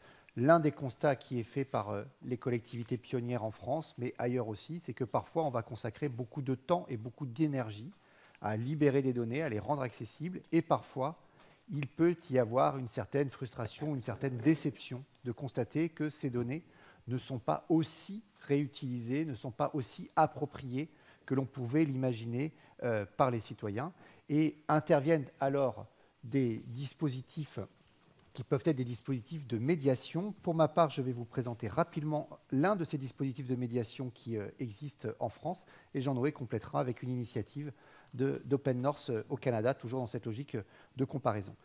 Il m'appartient donc de vous parler en 10 minutes également maximum d'une démarche qui est une démarche qui a été lancée par la FING. Certains d'entre vous connaissent peut-être cette structure, la Fondation Internet Nouvelle Génération. Alors le nom Internet Nouvelle Génération nous donne un indice sur le fait que cette structure existe depuis euh, longtemps, depuis 2000. La FING, ce qui est longtemps quand on parle d'évolution numérique. La FING, c'est un, think tank, mais également un do tank. C'est un, organisme à but non lucratif euh, dont les adhérents sont des collectivités publiques, dont les adhérents sont des associations, des entreprises, des start-up, des groupes qui euh, produit de la réflexion et des expérimentations, mène des travaux de recherche-action sur la manière dont les transformations numériques s'opèrent dans notre société pour aider celles et ceux qui contribuent à ces travaux et celles et ceux qui en bénéficient à anticiper ces mécanismes de transformation numérique. La FING a publié de nombreux ouvrages, organise de nombreuses rencontres, de nombreux colloques, dont euh, une rencontre sur la donnée qui a lieu vendredi et samedi cette semaine à Aix-en-Provence, à laquelle nous nous rendrons également avec Jean-Noël Landry euh, dans, quelques jours. Quand on parle euh, des, questions de, data, d'open data, le premier constat que l'on peut, peut, faire, c'est que souvent, on va avoir le sentiment que l'on s'adresse aux geeks, que l'on s'adresse à des spécialistes. Open data, big data, smart data, smart city. On a une première barrière qui est une barrière euh, sémantique, une barrière de, conceptualisation, de présentation des choses, dire par un communiqué de presse, par une conférence de presse, par des informations sur un site internet qu'il y a un portail open data n'est pas en soi quelque chose qui va inciter les citoyens à aller fouiller, chercher, voir de quel type de données euh, euh, il s'agit. Et quand je dis les citoyens, ça peut être également des associations, ça peut être des journalistes, etc. Deuxièmement, sur l'ensemble de ces sujets, on a un autre constat qui peut être fait, c'est qu'il y a beaucoup de, fantasmes, sans doute, d'excès euh, dans un sens ou dans l'autre, autour de ce que peuvent être les promesses euh, de l'open data, en termes par exemple de création de richesses, de développement économique, mais également les promesses du big data en termes de, solutions miracles dans de très nombreux domaines, et inversement, euh, sans doute beaucoup d'excès sur euh, des craintes que tout ceci peut susciter, donc à la fois des peurs excessives et des promesses excessives, qui font que là également, nous avons un sujet, une difficulté qui est l'appréhension, la compréhension euh, de ce que sont les données, de à quoi elles peuvent servir, de comment on peut euh, s'y intéresser euh, et, s'approprier sans doute des mécanismes et des modèles qui sont en train de façonner progressivement, pour ce qui nous concerne ici aujourd'hui, l'action publique, mais également l'action commerciale, l'action citoyenne. Il y a tout un tas de champs, l'organisation de, de, la société sont aujourd'hui impactés par ce qu'on va appeler peut-être le volet révolution de la donnée euh, au sein des évolutions des transformations numériques. La méthode dont je vais vous parler est une méthode qui a été construite par, euh, la FING dans une logique de dire qu'il est important dans notre société de créer des lieux, des espaces, des temps de médiation de la donnée qui auront donc comme euh, finalité de permettre, un, de la sensibilisation, de, la formation, je vous dirai de qui et comment, Deuxièmement, sans doute, des temps euh, d'expérimentation et de travaux plus approfondis. Et également, troisièmement, des lieux de discussion et de débat sur ce que sont ces données qui sont, pour ce qui nous concerne là, mises en open data, mais qui peuvent aussi concerner l'ensemble des données personnelles euh, des habitants, citoyens, consommateurs euh, que, nous sommes, que nous sommes tous. D'où la création de ces infolabs, des lieux dans lesquels on va procéder à ces différentes étapes que je vais vous, détailler en, quelques mots. Les infolabs, ils peuvent être d'abord internes à des organisations. On peut prendre comme exemple la Maïf, qui a un travail particulier sur la donnée euh, qu'on pourra développer si, vous le souhaitez, pour permettre à son modèle euh, d'évoluer en matière de gestion des données de ses sociétaires, la Maïf a commencé par déployer, diffuser la culture de la donnée, la compréhension de ce que sont ces données en interne à son organisation en créant un infolab interne. Puisqu'on est sur l'open data des collectivités, on peut citer Poitiers, le Grand Poitiers, l'agglomération de Poitiers, qui a également créé un infolab interne à l'attention, avant tout, au départ, de ses agents publics. Ensuite, un infolab, ça peut être un lieu qui va être euh, partagé, qui peut être partagé entre plusieurs euh, euh, organismes, plusieurs entreprises, la FIN travaille par exemple indifféremment avec euh, La Poste et Carrefour, où les cadres euh, et les, personnes concernées par ces sujets de ces deux euh, entités travaillent en commun. On peut penser, dans le même état d'esprit, au Data Lab qui est créé à Nantes sur l'énergie, qui est un lieu où on travaille sur les données de l'énergie avec des acteurs, des producteurs de données qui sont divers et variés, qui peuvent être publics, parapublics, prestataires, et qui vont travailler ensemble sur ce que sont ces données et comment on peut les piloter, les gouverner, les faire se parler entre elles pour en tirer des services nouveaux. Mais l'Infolab, ça peut être aussi une démarche tournée vers l'extérieur, ça peut être une démarche publique, vers le grand public, pour créer des lieux et des temps d'explication de comment tout cela fonctionne. Je vais citer euh, deux ou trois exemples. Poitiers, justement, j'y reviens, parce qu'après avoir créé l'Infolab interne pour les agents publics, ils l'ont ouvert à l'extérieur. il y a des temps, des midis, des apéros, où on traite du sujet de la data destinée au grand public leur expliquer comment leur donnée est collectée, à quoi elle sert, quelles sont les règles, quelles sont les problématiques particulières. Et ça, c'est quelque chose, je pense, tout à fait euh, essentiel. On peut citer Lyon, où il y a un espace important qui s'appelle Tuba, euh, dans lequel on fait de la médiation de la donnée ouverte au grand public. On peut citer Grenoble et, quelques, autres endroits où ces choses-là sont, sont, donc euh, aujourd'hui installées. Alors on y fait quoi très concrètement dans ces espaces? On peut y faire des conférences de culture générale sur la donnée. On peut y organiser des débats on peut y organiser également euh, des jeux, des, temps euh, ludiques de manipulation de la donnée, parce que l'une des manières de bien comprendre comment euh, tout, ça,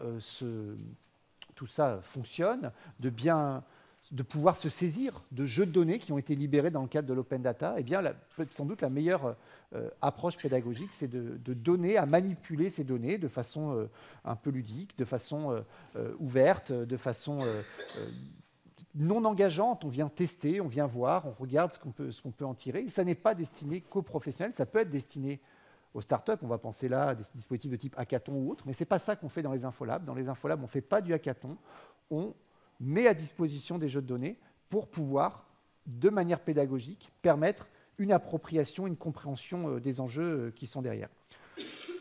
Pour terminer sur la présentation de cette démarche, je vous signale simplement que la FING, organisation à but non lucratif, a construit un certain nombre d'outils d'animation de ces infolabs, qu'ils sont tous, puisqu'on parle d'open data, on peut parler de licence, ils sont tous en licence Creative Commons, c'est-à-dire qu'ils sont accessibles, disponibles sur le site internet euh, de la FING, avec y compris des, petits outils pédagogiques ou des cadres un peu plus globaux, et également une charte euh, de ces infolabs qui est une charte qui porte à la fois sur les méthodes qui vont y être utilisées et un certain nombre de principes qui ont trait, vous vous en doutez, notamment euh, au respect par rapport aux données de type données personnelles, etc.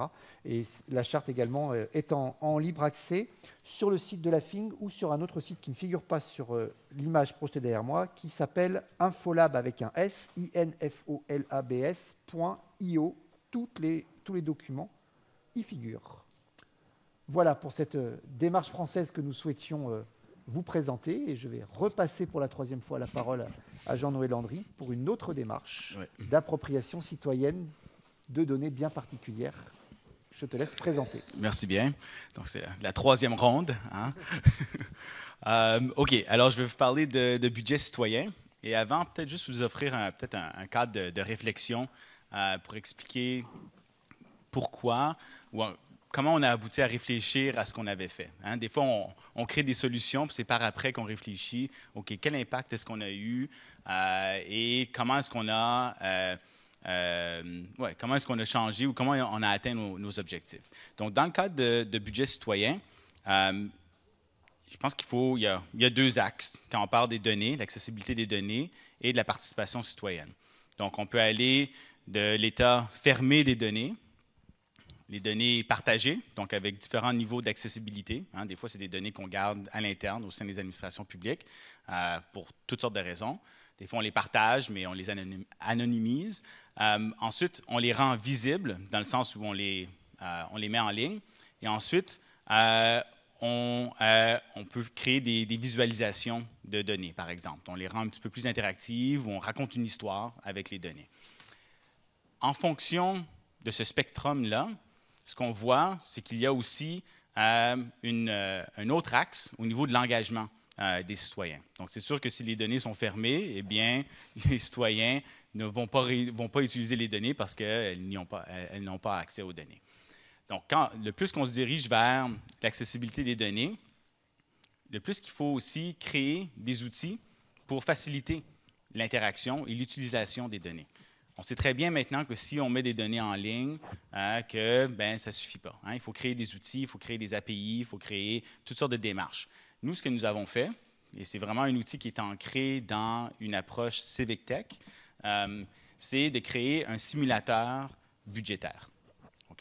Et à la base, et là, je vais vous expliquer un peu le contexte par lequel on, a abouti à cette, idée-là, euh, parce qu'elle est très, très ancrée dans une dynamique euh, d'une euh, une municipalité ou un arrondissement plutôt à, Montréal qui s'appelle le Plateau Mont-Royal euh, et avec le maire Ferrandez à l'époque. Donc le maire Ferrandez avec le Plateau Mont-Royal. Plateau Mont-Royal avait une tradition là, vraiment de consulter le public. Ils avaient fait euh, le, premier budget participatif en Amérique du Nord, après Puerto Alegre et tout ça. Donc, c'est vraiment une culture très mobilisée de la société civile, etc. Mais le maire Ferrandez, lorsqu'il organisait des assemblées publiques euh, pour consulter euh, les gens sur la priorisation euh, des ressources, donc sur des, enjeux budgétaires, c'était toujours les mêmes personnes qui participaient à ces fameuses assemblées-là. Et le maire Ferrandez, il commençait à être un peu frustré. Il disait, mais voyons donc, je sais qu'il y a plus de gens qui, qui devraient s'intéresser à ça, mais comment est-ce qu'on peut les rejoindre?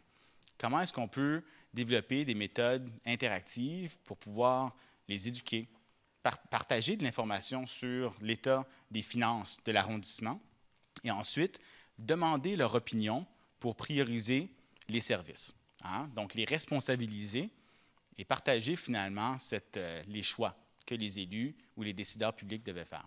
Donc, ils nous ont approchés, ils nous ont demandé, bien, écoutez, on a des données, elles sont dans un bon état, elles sont structurées, euh, on, sait, bien sûr, bien sûr chiffrer nos services, hein. on, est, on est responsable, on est des bons gestionnaires, est-ce que vous pouvez nous aider à développer un outil euh, pour justement augmenter finalement le champ ou la portée de, ces consultations-là? Donc, on a créé Budget citoyen. Et Budget citoyen, ce n'est pas un, sondage, OK? C'est un, euh, exercice euh, qui est à la fois amusant et significatif et éducatif. Et ça, c'est très important, ces trois composantes-là, parce que nous, ce qu'on s'est dit, de la perspective UX, OK, de l'usager, on voulait qu'une personne qui attend un tramway ou un autobus le matin puisse avoir et participer d'une manière euh, significative à sa et d'une manière ludique à, sa démocratie, en attendant l'autobus dans un exercice de démocratie participative numérique en 10 minutes. Donc, 10 à 12 questions. Mais au tout début de l'exercice, et on a un kiosque euh, ici là, qui nous permet de- de- d'en parler un petit peu plus avec vous, si ça vous intéresse. Quand vous voyez la consultation, en premier temps, ce que vous voyez, c'est le message du maire. Donc, une invitation OK, du maire qui dit Je vous invite à participer hein, à euh, une nouvelle manière euh, de consulter le grand public et je suis redevable. hein, donc, on est à l'écoute pour pouvoir mieux vous représenter et représenter votre vision euh, de votre communauté et des services que nous gérons ici euh, dans, notre, euh, dans notre municipalité. Donc, ça, c'est le message du maire. C'est très important qu'il y ait un message politique hein, qui légitimise l'exercice. Parce que si, sinon, le citoyen ou le répondant, la personne qui participe à cet exercice-là, qui complète le budget, ne saura pas si l'effort qu'il apporte va avoir un impact. Hein, Donc déjà, il y a un contrat social qui existe. On dit, on utilise une nouvelle technologie et faites-nous confiance. hein, on vous écoute, mais parce qu'on veut pouvoir mieux vous représenter et représenter votre vision de la communauté. Après ce message-là, eh bien, il y a un autre volet où il faut partager et éduquer les citoyens ou les résidents de la communauté sur ben, quel est l'état des finances hein, euh, dans, la communauté. Donc là, on partage vraiment où va l'argent.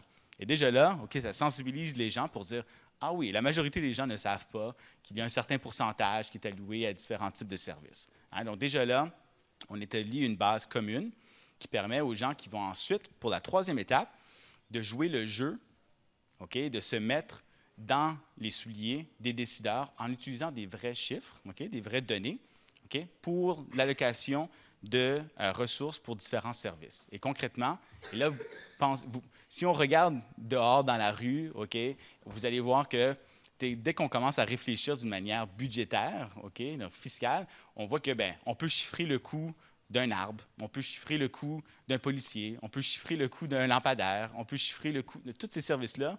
Il y a euh, un chiffre, hein, on dépense de l'argent public pour administrer ces services-là. Donc, ce que l'exercice fait en utilisant ce qu'on appelle des, glisseurs, donc en anglais, un slider, un slider, euh, on demande au euh, répondant de choisir en glissant s'il veut plus ou moins de certains services en lui posant des questions.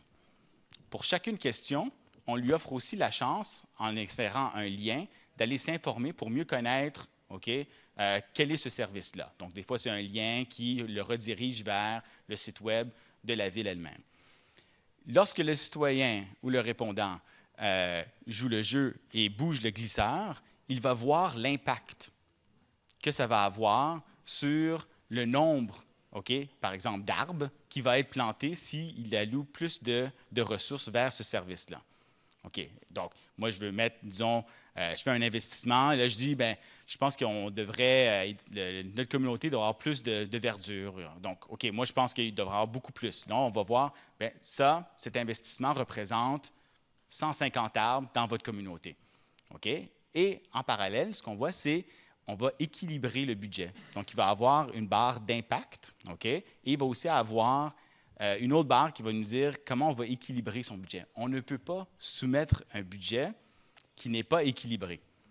Pourquoi? Ben, parce qu'on s'attend, hein, on s'attend à ce que nos élus et les décideurs soient responsables, tout comme dans nos budgets de famille et tout ça, ben, on essaie d'équilibrer nos budgets. Donc, on s'attend, on a les mêmes attentes à nos décideurs. Une fois que l'exercice est complété, là, on demande certaines informations euh, sociodémographiques. OK? Par exemple, euh, est-ce que vous êtes propriétaire euh, ou euh, locataire de, votre, de votre résidence? Est-ce que on va demander des fois des informations qui, je pense, on n'a peut-être pas la même sensibilité par rapport à, vous parce qu'on parle beaucoup là, des données personnelles et tout ça.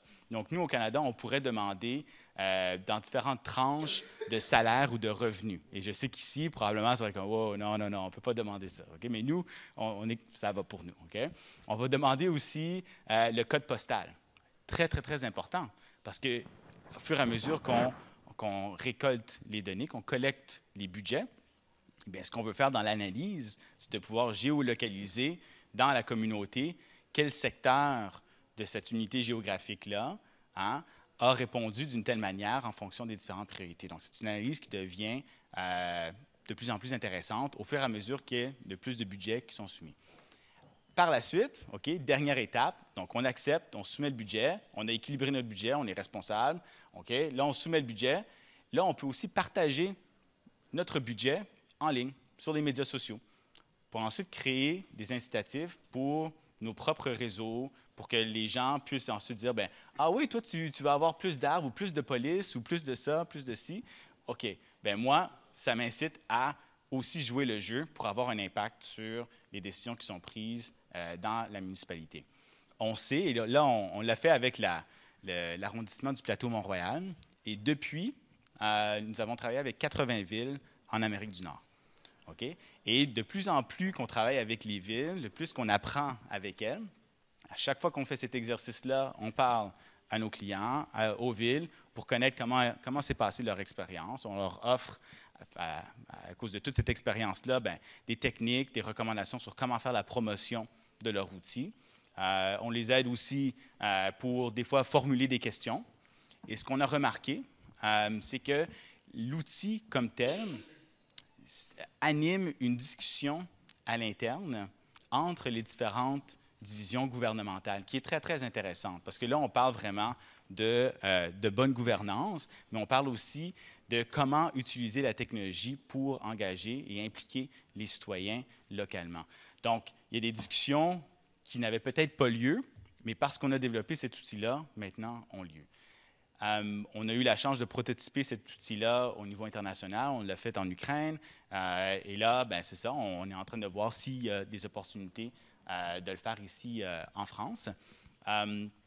et j'ai un dernier point aussi à, dire. Si on veut ensuite, dans une vision, le futur de comment l'outil pourrait encore plus innover, ce serait de structurer les données dans des formats ouverts. Donc, moi, j'imagine le potentiel d'utiliser cet outil-là de plus en plus avec plus de villes à travers la planète, OK, pour pouvoir créer et faire la promotion de standards de données budgétaires pour que l'on puisse éventuellement comparer les budgets des villes sur une échelle mondiale.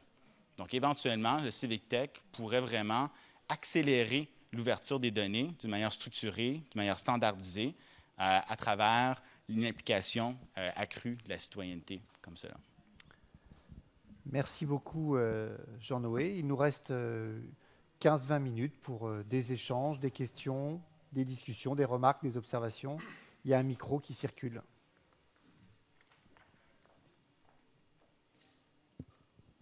Bonjour. Ah oui, ça marche. Bonjour, Samuel Goeta, data activiste. Euh, j'avais une petite question pour euh, un peu tout le monde. Euh, Jean-Noël, tu présentais budget citoyen et Jacques, tu présentais les infolabs et plus largement le concept de la data littératie. quand j'entendais parler, Jean-Noé, du, du, projet budget citoyen, et puis aussi quand j'entendais ce que vous évoquiez aussi en Loire-Atlantique sur l'usage des données en interne, euh, je voulais savoir un peu euh, quelle était euh, votre vision de l'usage des données elles-mêmes par les citoyens, par les employés. et est-ce que c'est quelque chose qu'on pourrait pousser ou est-ce qu'on est plutôt dans une orientation où on va utiliser des outils qui ont déjà été préparés pour les citoyens ou est-ce qu'on peut envisager que les citoyens soient eux-mêmes des utilisateurs de la donnée brute telle qu'elle est partagée par, par les institutions?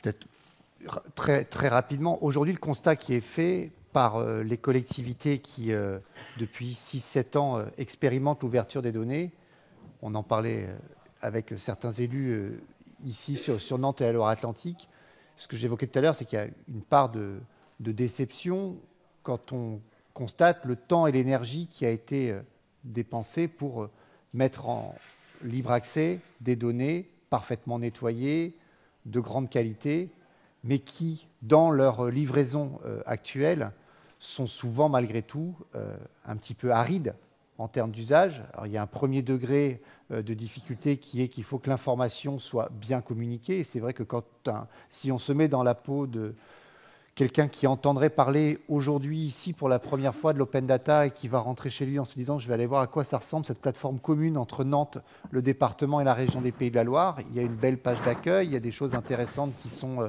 énoncées en termes euh, d'objectifs et les jeux de données sont bien classés et, bien disponibles. Mais ensuite, quand on commence à télécharger un jeu de données, c'est vrai que euh, les formats qui sont ceux qui permettent la réutilisation de ces données sont des formats qui sont plutôt destiné à des gens qui, derrière, vont faire un travail de retraitement de ces données, voire de programmation, d'utilisation diverses et variées. Donc on a quand même cette, cette difficulté-là qui, je le dis avec euh, mon regard extérieur, a peut-être été un petit peu sous-estimée au fil, euh, au fil du temps, par rapport en tout cas à l'ambition d'une implication citoyenne, d'une logique de transparence, de contrôle citoyen. Donc à partir de là, il y a effectivement des dispositifs que vous évoquiez, qui sont des dispositifs de médiation, des dispositifs intermédiaires. Budget citoyen est un logiciel qui, de simulation, il y en a d'autres des logiciels de simulation budgétaire, mais celui-ci utilise l'ensemble des données réelles du territoire dans lequel il s'applique. Il va y avoir des dispositifs de data visualisation qui vont être interactifs, qui vont permettre de manipuler ces données pour s'approprier sans doute plus de l'information que de réutiliser les, données elles-mêmes. Euh, ça, c'est plus peut-être pour les individus. Après, il peut y avoir des associations citoyennes qui, elles, se saisissent véritablement de ces jeux de données, soit parce qu'elles sont dans des logiques euh, de, par exemple, de développer la transparence par rapport à la vie démocratique. On peut penser à des choses qui sont faites au niveau national autour de Regards citoyens et quelques autres, et notamment euh, euh, un site comme nosdéputés.fr, où on va avoir de la collecte de données pour donner à voir aux citoyens ensuite, mais ce sont bien des citoyens qui se saisissent eux-mêmes des choses pour plus de transparence, plus de contrôle, le cas échéant, pointer du doigt euh, des manquements. Euh, donc ça, c'est des choses qui, euh, existent. Donc je ne suis pas certain qu'il y ait de réponse aujourd'hui très positive à la question d'un point de vue technique, mais si vous, avez des suggestions à nous faire, je pense qu'elles seront aussi les bienvenues. Moi, je veux bien dire un mot pour compléter cette, question. En fait, c'est la bonne question, mais c'est la question qu'il ne faut pas se poser. Euh, c'est-à-dire, euh, parce que sinon, euh, la réponse est évidente. Je vais vous dire pourquoi. Il se trouve que professionnellement, moi, je suis issu de l'INSEE. et à l'INSEE, quand on met en, en, place sur le site de l'INSEE un outil de médiation tel que celui qui nous a été proposé sur les budgets citoyens, alors euh, on sait que l'impact sur euh, comment la donnée est regardée euh, par les citoyens sur ce site où tout est gratuit par rapport à la donnée brute, c'est un multiplicateur de 1 à 1000. entre la donnée brute dans ses utilisations et la donnée brute telle qu'elle est utilisée une fois qu'elle est plus brute, une fois qu'elle est passée par, par un système de médiation. Euh, par contre, ce n'est pas du tout les mêmes utilisations. C'est-à-dire que ce sont des utilisations euh, complémentaires. C'est un peu ce que, commençait à, dire Jacques. D'un côté, on est plutôt dans une sensibilisation à la donnée, dans ce recherche du citoyen acteur auquel on donne des informations pour mieux comprendre son environnement et démocratie ouverte. Dans l'autre, on est plutôt dans autre chose. On, est, on dit à ceux qui sont capables de penser de façon orthogonale, à ceux qui sont euh, capables euh, d'aller chercher des nouvelles utilisations de la donnée, on leur dit, voilà, si vous avez des idées, en tout cas, la matière première, elle est là, elle est gratuite, elle est disponible. Et elle est propre. Et donc, du coup, vous n'avez plus qu'à inventer euh, la valeur ajoutée qui fait que derrière, on va sortir. Alors, ils sortiront d'ailleurs peut-être un dispositif de médiation, peut-être des utilisations qui permettront de créer de, de, la valeur économique. Donc, d'une certaine façon, en tout cas, pour la Loire-Atlantique, il faut surtout pas qu'on se pose cette question. Il faut que, parce que sinon, on sera, comme le dit Jacques, déçu. Euh, et c'est pas euh, et, finalement euh, on doit assumer qu'on va être déçu en termes d'utilisation des données si on s'en tient à, la donnée brute. Sauf que il suffit d'une ou deux ou trois utilisations à venir dans les cinq ou six ans qui viennent. Je pense qu'on est un peu dans la même situation que est-ce que la recherche sert à quelque chose? Euh, on, est un peu, on doit être dans cette position. Et c'est pour ça que pour nous, en Loire-Atlantique, le choix d'intégrer l'open data, non pas comme un choix en lui-même, mais dans une stratégie numérique globale, fait que c'est un des segments de la stratégie numérique globale et qu'on ne va pas euh, évaluer la stratégie euh, numérique du département au nombre de connexions sur le dernier jeu de données qu'on a mis sur la plateforme. Heureusement, parce que sinon on connaîtrait déjà la réponse. Ju- Juste peut-être pour euh, compléter, euh, si tu me permets, Jacques, euh, moi, je pense que la donnée est une matière première et qu'elle se raffine de la même manière que d'autres matières premières et qu'on a plusieurs niveaux effectivement de raffinement de la, donnée. La data vise étant le graal de, de, de l'éditorialisation de ce, type de, données pour donner à voir et, euh, et, acculturer les gens à, ce que c'est que réellement des 1 et des 0 dans des, cases et ce que ça veut dire concrètement sur le terrain.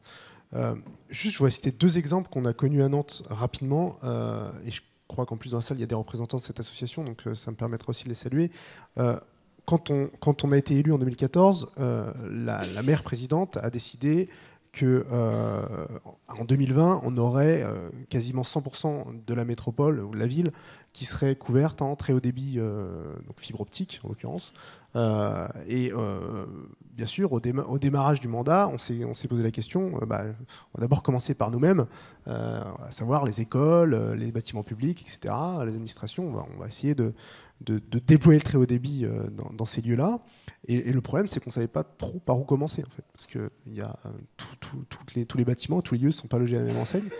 Et en fait, on a été rapidement interpellé par une association qui s'appelle FAI Maison, Fait Maison, qui, qui est ici présente, et qui nous a dressé en fait un, classement euh, des lieux municipaux euh, les moins bien desservis en ADSL, en débit, euh, par, euh, le calcul de la distance entre euh, ce lieu et euh, le DSLAM, donc le concentrateur ADSL, euh, à, laquelle, euh, l'équipement public est rattaché. Et donc comme ça, on a une, carte, une, une cartographie très précise euh, de, des lieux en tension et en fracture, et ce qui nous a permis d'avoir une feuille de route très claire et très rapide sur, euh, voilà, on va commencer par déployer le très haut débit dans tel lieu, tel lieu et tel lieu.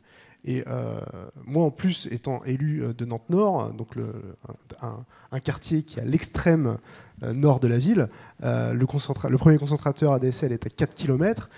en tant que représentant de la ville dans les écoles de- du quartier, j'avais en gros 4 écoles sur 5 qui étaient en souffrance sur les débits et, ça m'a permis d'objectiver en fait cette, cette plainte euh, en disant bah effectivement euh, grâce à Fait Maison on a objectivé on a euh, ces quatre écoles qui sont dans le rouge. Et donc là nos services ont pu à partir de ces données qui ont été en fait scrappées sur le web bah, établir une feuille de route précise et aujourd'hui on a le très haut débit dans ces écoles. Donc ça c'est un exemple très concret de comment nos services sont aussi interpellés, par, de la, data qui vient des citoyens finalement et sur le budget citoyen, très rapidement, euh, nous, on a fait le choix euh, de donner les clés d'une partie du budget à nos citoyens dans nos 11 quartiers. Euh, clairement, c'est euh, le bureau des projets, euh, c'est euh, la capacité qu'ont des acteurs associatifs, organisés ou non, ou euh, purs habitants euh, sans, sans organisation particulière, de se réunir et euh, de décider de financer tel ou tel projet. Alors il y a des critères, il y a le développement durable, il y a le côté lien social, etc. Mais euh, ça peut aller euh, d'un prêt de matériel jusqu'à 5000 euros de financement, qui sont de fonds publics, pour aider euh, ces initiatives à se monter. Et là, du coup, effectivement, il y a cette appropriation de ce que tu disais tout à l'heure sur les sliders, sur le fait que, euh, effectivement, si je donne 5000 euros à telle association, bah, euh, après, je pourrais peut-être pas financer euh, l'initiative de l'association de parents d'élèves euh, du, coin. Donc, il y a cette, euh, incapacitation, cette bonne gestion qui, passe au travers de ça. Et nous, on a, fait le choix vraiment de faire euh, du, du coût humain sur, euh, sur l'échelle d'un quartier, voire d'un micro-quartier. Et du coup, euh, du coup, ça marche plutôt bien et on en est plutôt, euh, plutôt satisfait. On a le temps pour encore euh, une ou deux questions. Trois, allez. Donc, monsieur- Madame devant ensuite et puis monsieur. Euh, bonjour, euh, Xavier Berne, je suis journaliste pour le site Next Impact.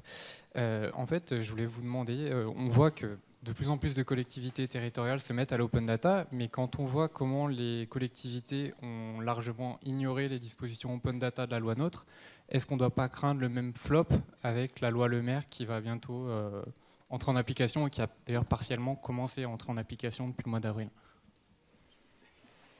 Ma question s'adresse plutôt aux élus en fait.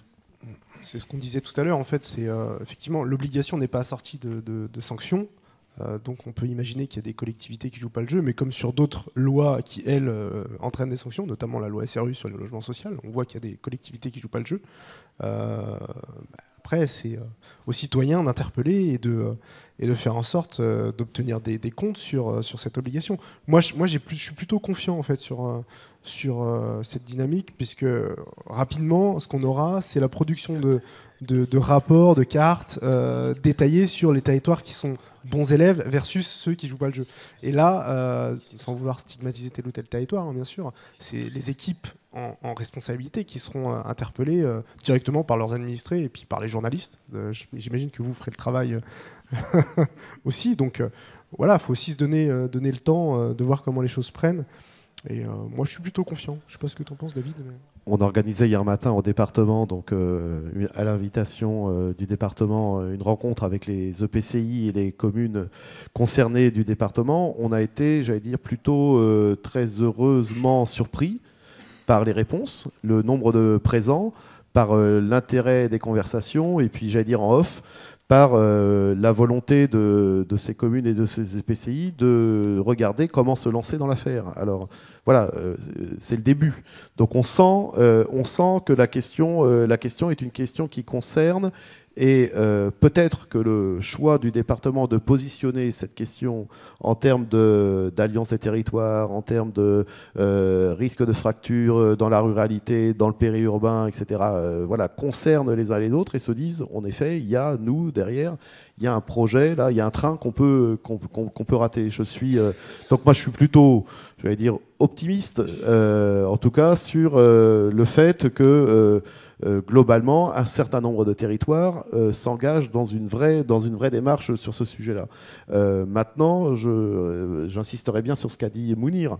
Euh, le mouvement de libération des données, il, peut, il doit aussi être bottom-up, bottom-up et pas simplement top-down. C'est-à-dire comment euh, le rôle euh, des citoyens dans l'interpellation des politiques, mais comme ça doit être de façon générale, pour leur demander mais c'est quoi votre projet sur notre territoire Où est-ce qu'on le discute Où est-ce qu'on le construit ensemble Et on va où ensemble C'est évidemment un sujet sur lequel moi je souhaite que les citoyens continuent de se mobiliser et qu'ils soient vraiment les aiguillons aussi de, euh, du fait que les, les collectivités soient pas simplement face à une loi non contraignante.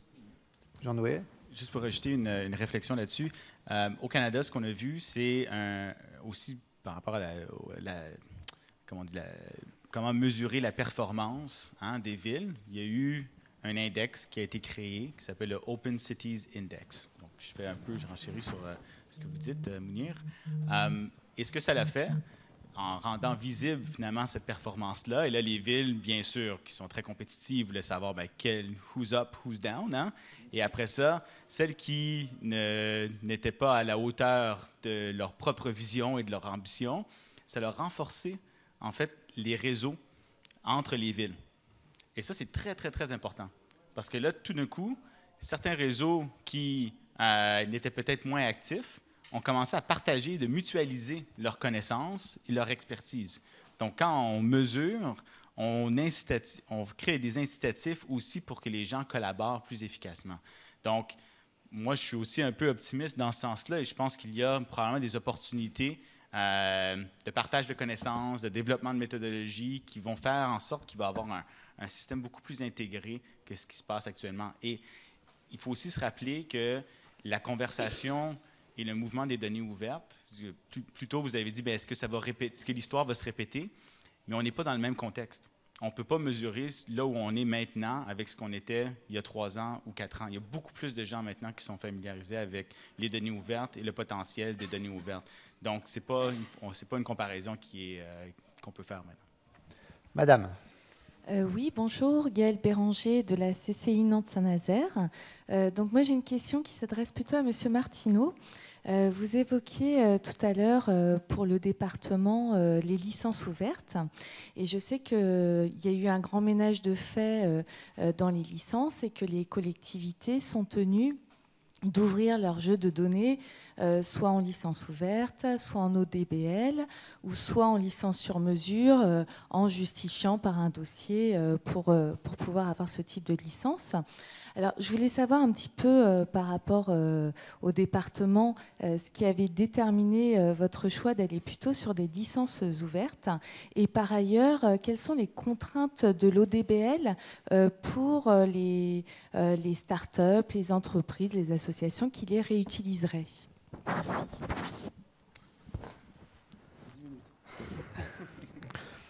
Merci de la peau de banane. Euh, J'ai euh, j'ai Jean-Philippe dans la salle, donc je vais appuyer sur lui pour, euh, pour y répondre du point de vue, du point de vue technique.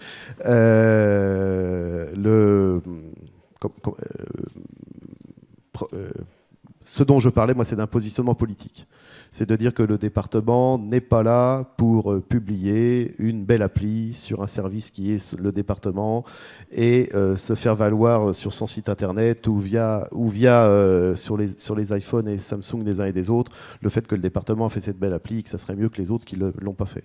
On est vraiment là dans un changement, de logique, c'est-à-dire de dire, voilà, il faut qu'on se positionne comme des facilitateurs de l'ouverture des données. Et donc, quand euh, le département lui-même développe par ses services euh, ce type d'appli, euh, il faut qu'on ait la capacité que ces, ces utilisations soient réutilisables. Pour la, question, pour la question qui suit, je pense que Jean-Philippe Lefebvre va vous en dire deux, trois mots. Et je pense que ça sera mieux que ce soit lui Oui, qui alors- plutôt que moi. Alors, vous- en même temps, vous avez l'air de bien connaître les régimes de licence, mais donc la différence entre licence ouverte et ODBL est très simple. Euh, Dans les deux cas, il faut euh, mentionner la paternité de, euh, de la donnée. hein. Euh, donc ça, c'est l'obligation dans les deux licences. Euh, la seule différence, euh, c'est que l'ODBL exige en fait une redistribution à l'identique euh, si la donnée a été modifiée, enrichie, augmentée, etc. Donc, euh, ce qui veut dire qu'effectivement, euh, on est dans une logique plutôt citoyenne avec l'ODBL, puisqu'on est dans le- l'enrichissement et le partage euh, complet, alors que la licence ouverte permet éventuellement euh, une privatisation de la donnée euh, par des acteurs économiques. Mais c'est la licence aujourd'hui adoptée par l'administration française. Une dernière question, monsieur, au fond Euh, oui, bonjour. J'avais euh, juste euh, enfin, une petite, euh, très petite question d'abord sur euh, données ouvertes ou open data. Euh, il vaut mieux dire quoi? Moi, données ouvertes, ça, je trouve ça bien. Donc si vous pouviez réagir par rapport à ça. Et puis après, j'avais une question concernant l'usage des citoyens, notamment via le data journalisme. Est-ce que vous avez, bon, j'imagine qu'on en parlera cet après-midi, mais euh, est-ce que vous avez des retours d'expérience sur les territoires sur lesquels la donnée a été euh, libérée? Parce qu'on sait qu'au niveau des élus, bah, parfois ça peut, euh, ça peut être un, un truc qui les freine. Donc euh, est-ce que vous avez des retours d'expérience sur du, du data journalisme, donc sur la donnée brute, euh, aussi bien au Québec, enfin des deux côtés de l'Atlantique. Petite anecdote pour nous, la terminologie open data ou données ouvertes, euh, on a dû y réfléchir beaucoup lorsqu'on a cofondé Montréal ouvert. Hein, Même Montréal ouvert, hein, Open Montreal. Hein, donc Montréal qui est une ville bilingue. Donc dans les messages et la terminologie qu'on utilisait, il fallait naviguer un peu ces eaux-là.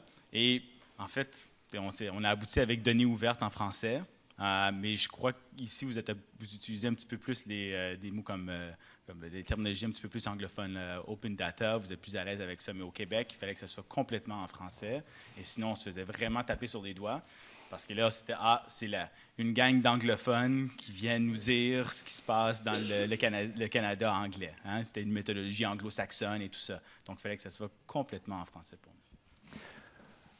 Sur cette question de la terminologie, je me permets euh, une anecdote. Il se trouve que je suis en train de terminer un ouvrage sur le big data des territoires qui sera prochainement publié. Petit passage de pub. Euh, et la discussion, je l'ai eue avec l'éditeur, de savoir si on disait big data, open data, smart city ou euh, données ouvertes, données massives, ville intelligente. Et il est clair que dans les milieux professionnels qui sont peut-être les plus représentés aujourd'hui dans ce salon de la data, nous utilisons ici en France les termes anglais.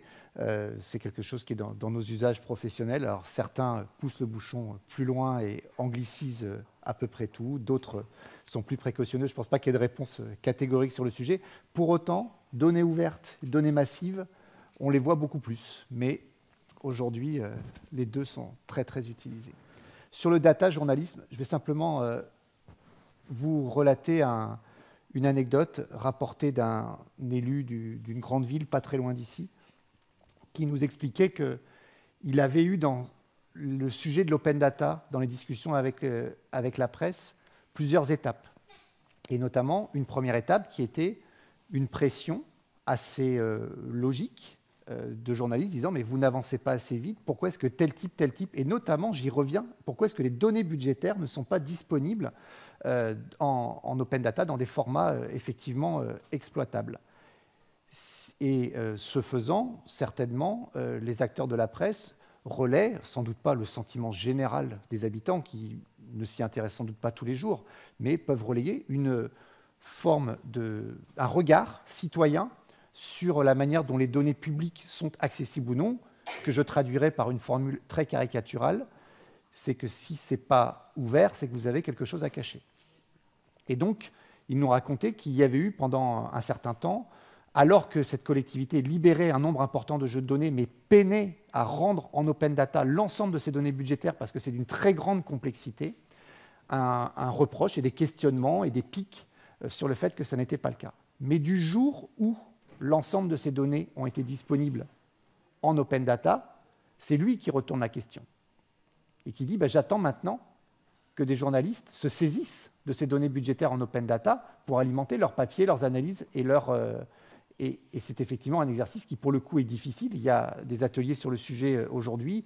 Euh, la question de la formation au data journalisme est posée dans un certain nombre d'écoles de journalisme depuis quelques années maintenant. La manière dont on peut se saisir de ces jeux de données de plus en plus importants. Je crois qu'on disait ce matin qu'il y avait aujourd'hui 20 000 jeux de données disponibles au niveau État sur data.gouv.fr et environ 20 000 jeux de données disponibles par les 180 collectivités qui en France font de l'open data. La manière dont on a intérêt, un intérêt à se saisir de ces données et à les utiliser est euh, certainement une colle euh, pour des citoyens, moins pour des associations qui vont être ciblées sur certains sujets et se saisir spécifiquement de ces jeux de données, et en tout cas un objet, un sujet pour les journalistes, à la fois dans les usages qu'ils peuvent en faire, mais aussi dans leur pratique, dans la manière dont les journalistes euh, traitent ces données. Je, veux bien juste faire un tout petit commentaire, parce que c'est une, Question qu'on se pose au département de Loire-Atlantique, hein, la question simple de savoir si euh, un terme comme open data est le terme complètement approprié pour s'adresser au public fragile auquel euh, s'adresse le public de Loire-Atlantique. Vous voyez bien que quand je pose la question, on a quand même une idée de la réponse. Euh, on a une, idée de la réponse. En tout cas, on voit bien que au bout d'un moment, cette question se pose, surtout quand on veut l'ouvrir non pas à une dynamique citoyenne, mais qui serait, reportée par, euh, qui serait portée par une niche peut-être même grande et grandissante de citoyens, mais qu'on veut s'adresser à l'ensemble des citoyens d'un territoire. Et euh, on le sait, euh, il y a des datas qui dorment partout euh, sur les plateformes, mais comme il y a des musées qui proposent des choses formidables et qui ne voient jamais que personne y rentrer, parce que du coup, cette question de médiation, elle n'est pas prise, elle pas prise complètement dans son ensemble et dans toutes ces, ces discussions. Et je crois que c'est, enfin, il y a là encore, voilà, dans le continuum de, cette ouverture vers tous, euh, des questions qu'il faut, qu'il faut se poser et, comment un certain nombre de termes, finalement, euh, enferment euh, pour le béotien la, la, logique qu'il y a derrière dans une logique de spécialiste, dans une logique de geek, dans une logique de c'est pas pour moi qu'on entend. Il suffit d'aller euh, dans n'importe quel quartier populaire de la ville de Nantes et on va l'entendre euh, dans, la rue. Et donc voilà, ça doit nous interroger en tout, en, tout cas en tant qu'élus sur notre responsabilité dans l'utilisation du vocabulaire et des façons de se porter en médiation vers euh, ceux qui, à qui on veut s'adresser. Très bien, merci à vous, merci à vous, un merci particulier à Jean-Noé qui reprendra l'avion pour retraverser l'Atlantique dans l'autre sens dans quelques jours. Et puis, euh, bonne continuation pour le salon.